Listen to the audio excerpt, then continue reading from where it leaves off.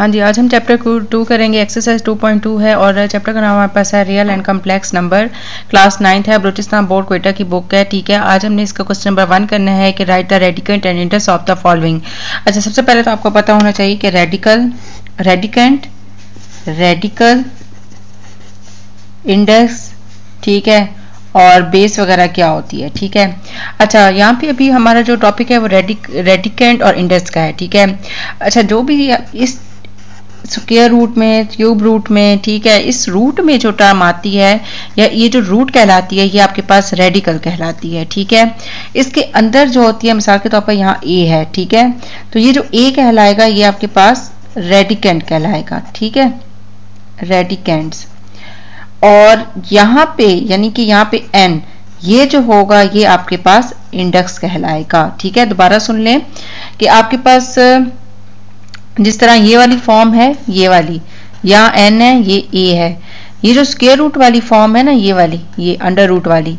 ये जो फॉर्म होती है, ये आपके पास क्या कहलाती है? ये आपके पास रेडिकल कहलाती है, ठीक है? ये जो इसके अंदर होता है, ये आपके पास रेडिकेंट कहलाता है, ठीक है?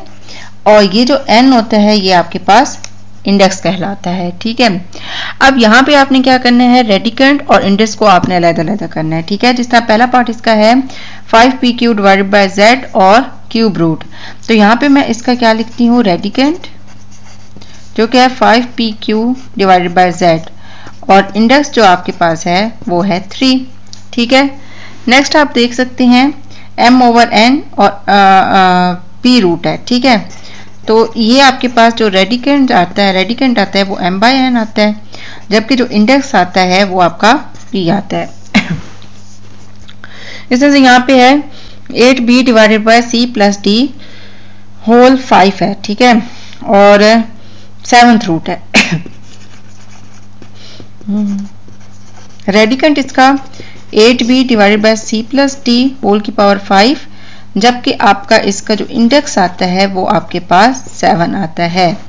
लास्ट आपका जो इसका पार्ट है, वो है 125 m की पावर 9 n की पावर 15 और क्यूब रूट तो यहाँ पे आप देख सकते हैं रेडिकेंट इसका क्या आता है? 125 m 9 n 15 जबकि इसका जो इंडेक्स आता है, वो आपका थ्री आता है।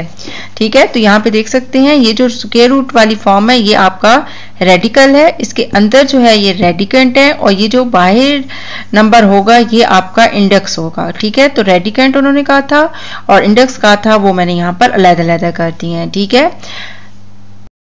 का क्वेश्चन नंबर टू करने लगे हैं। इसको सॉल्व करने से पहले अगर आप मेरे चैनल पर नए हैं और अभी तक मेरे चैनल को लाइक और सब्सक्राइब नहीं किया तो काइंडली मेरे चैनल को लाइक और सब्सक्राइब कर दें। अगर आपको मेरी वीडियोस अच्छी लग रही हैं, आपको कंसेप्ट आ रहा है, आप अपने वर्क में आपको हेल्प मिल रही है तो काइंडली मेरे चैनल को ज़्यादा से ज़्यादा सब्सक्राइब करें और अपने फ्रेंड और फैमिली के साथ ज़्यादा से ज़्यादा शेयर करें। इसके अलावा अगर आप मेरे चैनल पर पहले से मौजूद है और सब्सक्राइब किया हुआ है तो बहुत बहुत शुक्रिया।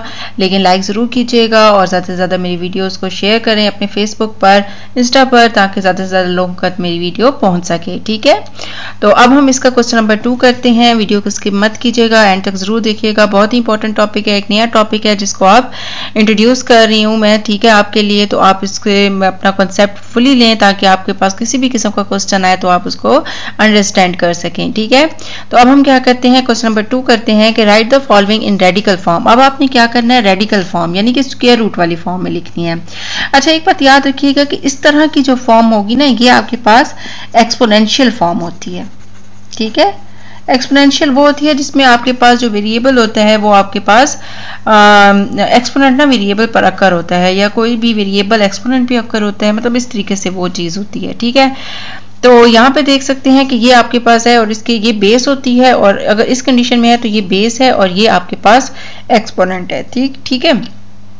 तो आपने क्या करना है कि ये जो पूरी फॉर्म है, ये एक्सपोनेंशियल फॉर्म है, इसको आपने रेडिकल यानी स्क्वायर रूट की फॉर्म में लेके जाना है। अब आपने इसको साथ करना क्या है? सबसे पहले आपने इक्वल टू डालना है, ठीक है? उसके बाद आपने स्क्वेयर रूट ये वाली फॉर्म डाल देनी है, ठीक है? ये सैम्बल डाल देना है। अंदर आपने ये सारा लिख लेना है eight X minus seven Y minus 18 bracket बंद करके 3 बाय फोर है तो ये जो ऊपर वाला न्यूमिनेटर होगा, ये आपने अंदर लिखना है, और ये जो डिनोमिनेटर होगा, ये आपने बाहर लिखना है, ठीक है? बस इतना सा काम करना है आपने, और ये आपकी रेडिकल फॉर्म बन गई है, ठीक है? अब यहाँ पे देखें 0.6 है 0.6 है, इसको आप सॉल्व करें। यहाँ पे 10 आ जाएगा 6 बाय टेन यानी कि ये 3 बाय फाइव तो यहाँ आप लिख सकते हैं 32 को 3 बाय फाइव में. तो आप जब इसको एक्सपोनेंशियल फॉर्म में लिखे एक्सपोनेंशियल को रेडिकल फॉर्म में लिखेंगे 32 अंदर लिखेंगे 3 इधर लिखेंगे और ये जो 5 है उसको बाहर लिखेंगे. ठीक है? अब इसका जो तीसरा पार्ट है, वो देखें 16 की पावर माइनस ज़ीरो है. 0.25 है, इसको सॉल्व करें तो ये 100 आता है 25 बाय हंड्रेड यानी कि ये वन बाय फोर आता है, यानी कि 16 माइनस वन बाय फोर तो आप आप इसको कैसे सॉल्व करेंगे? 16 अंदर लिखेंगे माइनस वन लिखेंगे, यहाँ पर फोर डालेंगे, और नेगेटिव है, इसको पॉजिटिव करना है तो आपने इसको डिवाइड में लिख लेना है। ठीक है? ऐसे। अब इसका लास्ट पार्ट है, वो है 18 1.5 1.5 को आपने सॉल्व करना है तो यह रहेगा 15 बाय 10 5 थ्री जार और 5 टू जार, यानी कि 18 के ऊपर यहाँ पर आप लिख सकते हैं 3 बाय टू। ठीक है तो आप इसको कैसे सॉल्व करेंगे, ये वाला सैम्बल डालेंगे 18 अंदर लिखेंगे ये थ्री यहाँ पर लिखेंगे, ठीक है? ये टू जो डिनोमिनेटर है, ये आपने बाहर लिखना है। तो ये आपके पास बहुत ईजी था, जिसमें आपने क्या कर दिया कि इसको रेडिकल फॉर्म में कन्वर्ट कर दिया है। इसकी प्रैक्टिस ज़रूर कीजिएगा फीडबैक मुझे ज़रूर दीजिएगा। कोई भी टॉपिक समझना चाहे तो कमेंट में ज़रूर बताइएगा, ठीक है?